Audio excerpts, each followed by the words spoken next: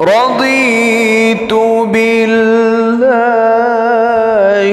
ربا وبالإسلام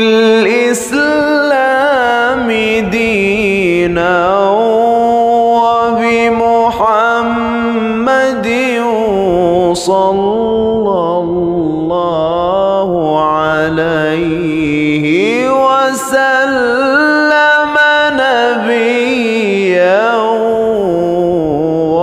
ورسولا Assalamu alaikum, my dear friends and viewers. First of all, I just want to thank Allah subhanahu wa ta'ala for blessing me with the beautiful religion of Islam. I am a Muslim, it is my identity, and I am proud of it. Alhamdulillah.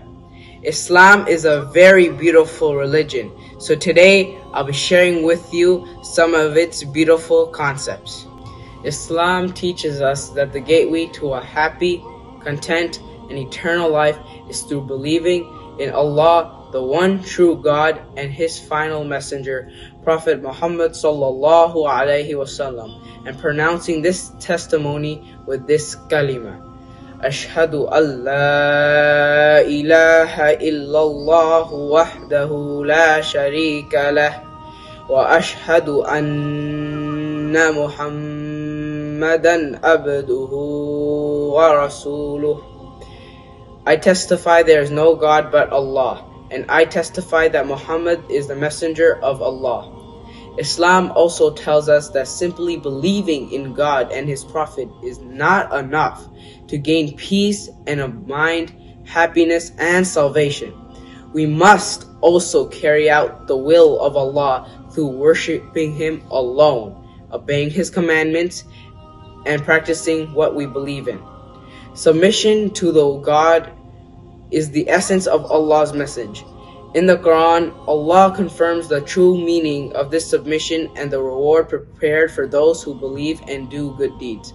Allah says, إن الذين آمنوا وعملوا الصالحات كانت لهم جنات الفردوس نزلا Indeed, those who have believed and done righteous deeds, they'll have the gardens of paradise as a lodging.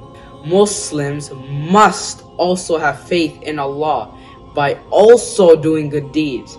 They must obey the commandments that Jesus and all the prophets taught and obeyed, such as believing in the one true God, praying, prostrating, and kneeling down in worship, fasting, giving alms and charity, saying, Insha'Allah, which means if God wills for something in the future, and using the greetings of Jesus and the Prophet, Assalamu alaikum, which means peace be upon you.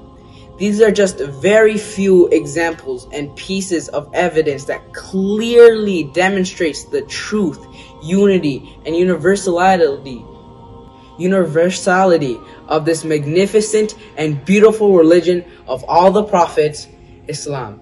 My dear friends and viewers, I am not finished yet. So inshallah I will be back. So please stay with us. Assalamu alaikum.